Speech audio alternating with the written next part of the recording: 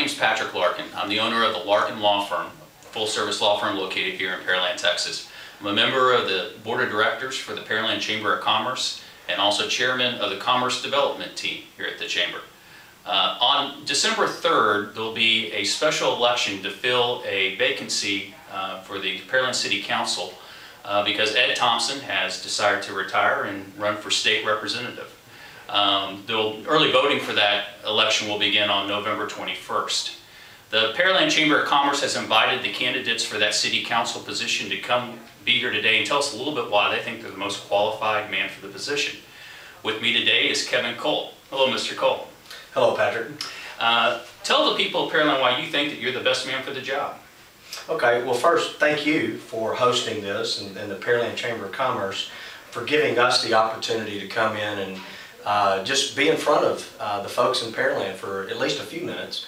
Uh, why I believe I'm the best candidate for this position at this particular time is uh, I've been blessed that the uh, voters in Pearland have actually put me in that position before. I have shown the people of Pearland that I can actually do that job. So it, it, I'm very fortunate that I've been blessed to do that. Uh, at the same time, I have uh, lived here for 34 years. My wife is a lifelong resident of Pearland, and we have chosen to make Pearland home along with our four children. Uh, we have deep roots here and are not planning to go anywhere. I think that number one gives us um, uh, basis to run for an office because we are rooted here.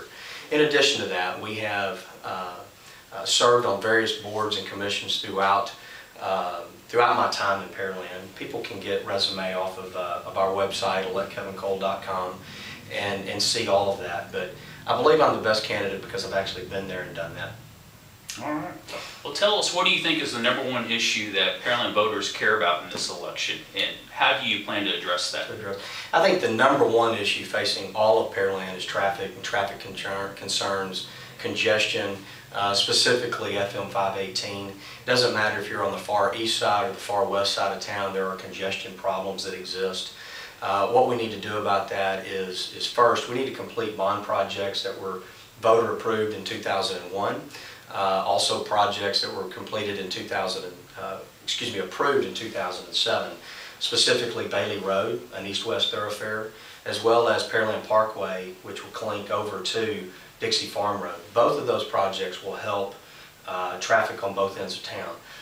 Additionally to that, though, we need to start putting a program together to come to the voters yet again, uh, probably in, in two, three, four years, uh, specifically McHard Road. Uh, McHard Road is another east-west thoroughfare. Those roads uh, once they're built, will greatly enhance uh, and relieve congestion on FM 518.